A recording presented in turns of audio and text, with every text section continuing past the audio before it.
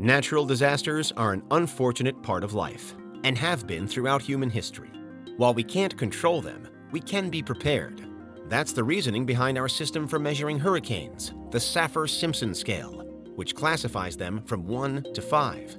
But is it time to increase that scale? Welcome to Unveiled, and today we're answering the extraordinary question, what if a Category 6 hurricane hit? Do you need the big questions answered? Are you constantly curious? Then why not subscribe to Unveiled for more clips like this one and ring the bell for more thought-provoking content? Well, let's first look at how the Saffir-Simpson scale works. Developed by civil engineer Herbert Saffir and meteorologist Robert Simpson, it became an important tool of the U.S. National Hurricane Center in the 1970s. The scale categorizes hurricanes based on the average maximum speeds for their sustained winds. These winds are measured 10 meters above the surface for one-minute intervals. It's important to recognize, then, that the scale is only based on wind speed, not any other factors. Since each category represents a range of maximum sustained winds, the difference in strength between hurricanes of different categories can be small or considerable, between 1 mile per hour to 45. This means that the scale provides limited information, for example, important factors like rain and storm surges aren't included. The scale did factor in storm surges, which account for most of the loss of life during hurricanes, until 2010, when the National Hurricane Center excluded them due to inaccuracies. They do continue to estimate storm surges using a model called SLOSH, standing for Sea, Lake, and Overland Surges from Hurricanes. However, this has raised the question of whether we need a storm surge scale, to give people a better idea of the incoming danger at the hurricane's area of impact.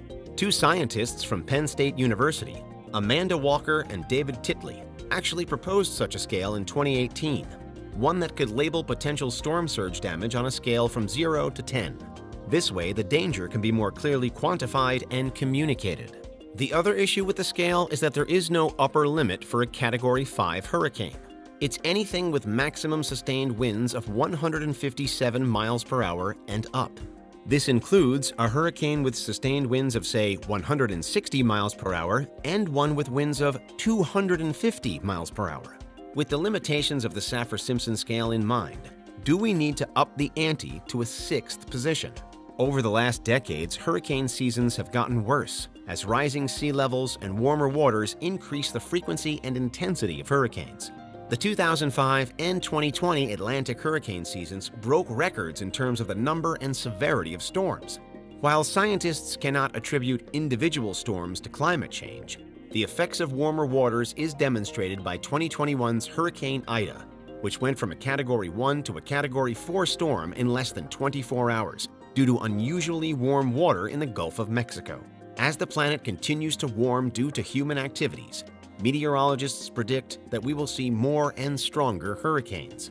And then, with stronger storms come more powerful storm surges and heavier rainfall, leading to costly infrastructure damage and potential loss of life.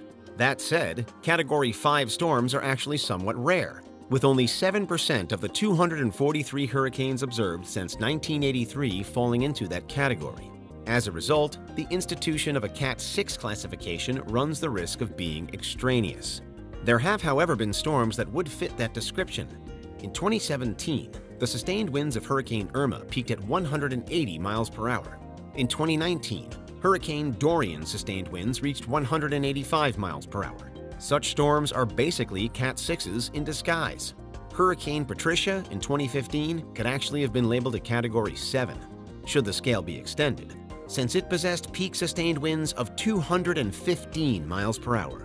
Although storms of this size generally tend to weaken once they make landfall, the damage potential of a Category 6 storm is basically limitless. Winds that strong can blow glass out of buildings, uproot trees, and sweep away homes. The floodwaters would be disastrous to both homes and infrastructure, leading to power outages that could potentially cripple the hardest hit areas for weeks to months. The deadliest Atlantic hurricane on record, the Great Hurricane of 1780, which resulted in 22,000 deaths in the Lesser Antilles, could also fit into a potential sixth category, with 200 mile per hour gusts of wind that peeled bark from the trees. Meteorologist Kerry Emanuel of MIT and civil and environmental engineer Ning Lin of Princeton have concluded that such ultra-powerful storms will occur more frequently, thanks to climate change.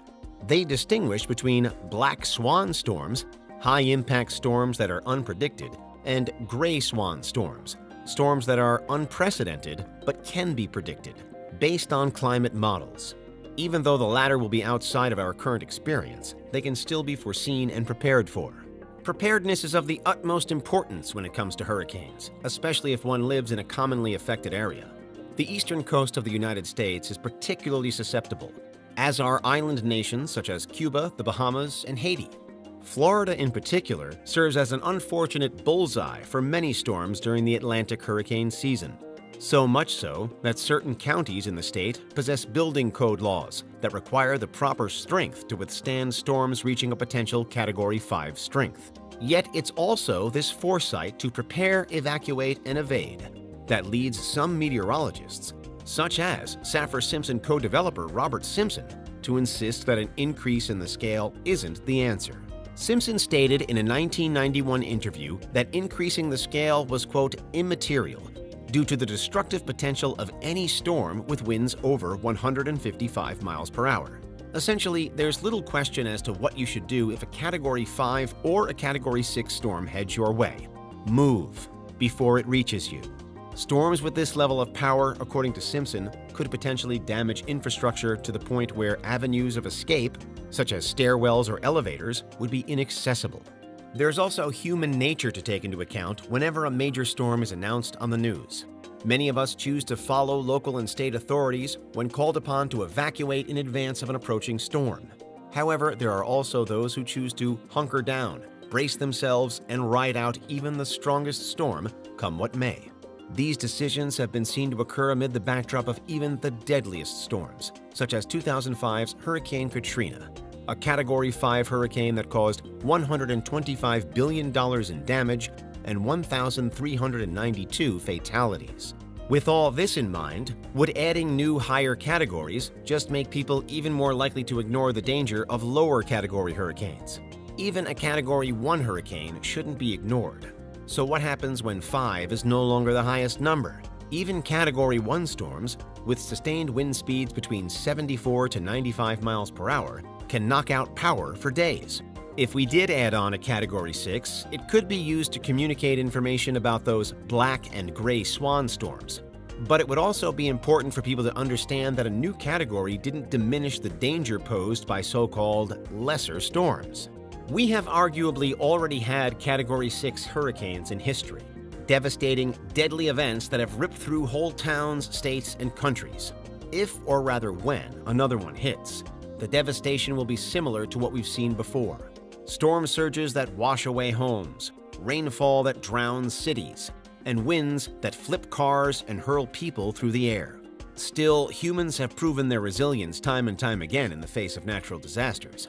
In the aftermath, we seemingly always find a way to pick ourselves up and rebuild, even in our darkest hours. At the end of the day, preparing for the worst and getting out of the way would serve as the best defense against a Category 6, as it already does for a Category 5 and even for Cats 1, 2, 3, and 4. Hurricanes are nature at its fiercest. To some degree, they're wholly unpredictable, and they always carry a very real threat and danger to life. And although climate change will increase the severity of hurricane seasons to come, how we survive still depends on us, and how well prepared we are to face them.